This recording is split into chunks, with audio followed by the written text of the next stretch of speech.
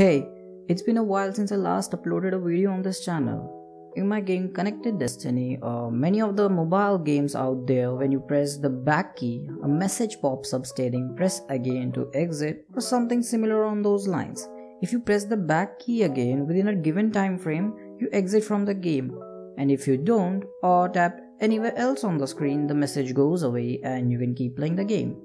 In this video, I'll be showing you the basics of how to implement this in Unity. And before we begin, I'll be using coroutines. So if you don't know about coroutines, then the code might seem strange to you.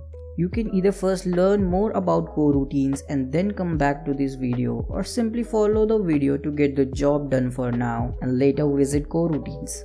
All being said, to the basement we go. Here I have set up a basic scene for the tutorial. Go ahead and create an empty game object. Let's call it double tap to exit. Right click on it, go to UI and create a new canvas which will hold the banner or the pop-up message. Here I am setting up a pop-up similar to my game using just the image component and default sprites. Finally, the text which will be our message.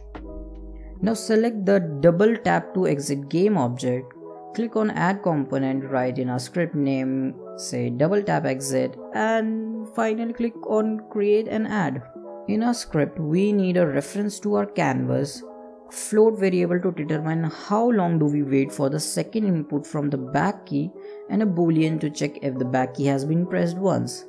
In start we're gonna set the boolean false and exit canvas dot active false disables our canvas game object we need a show message method.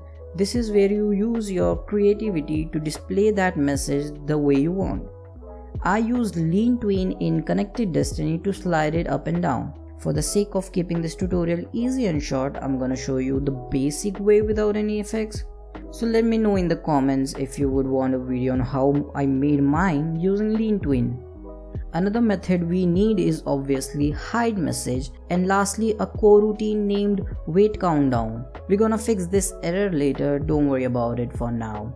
Inside update, we check if the user pressed the back key using the line input.get key down key code dot escape and if the back pressed once boolean is false which means this is the first time the key has been pressed and we call the show message method. Now inside show message method First thing we do is change the value of back pressed once to true.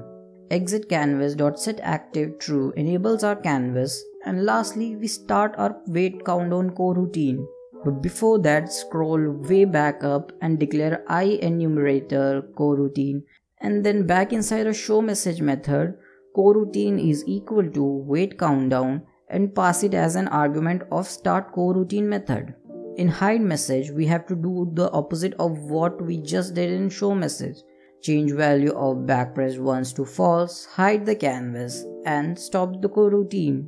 Finally, inside our coroutine wait countdown, type yield return null so that the current frame ends and we wait for the next frame.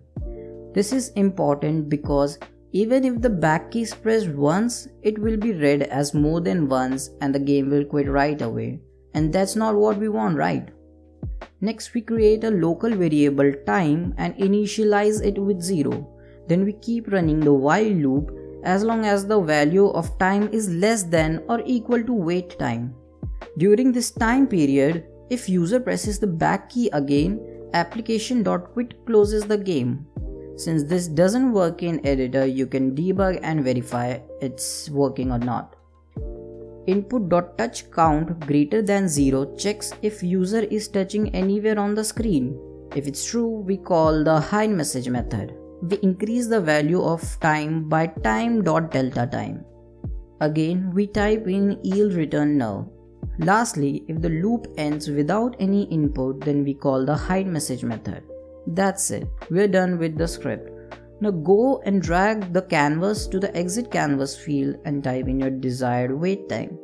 If I press the play button, the message goes away. When I press escape on my keyboard, it shows up and then automatically hides if I give no input. But when I press escape key twice, you can see the output on console which means it worked.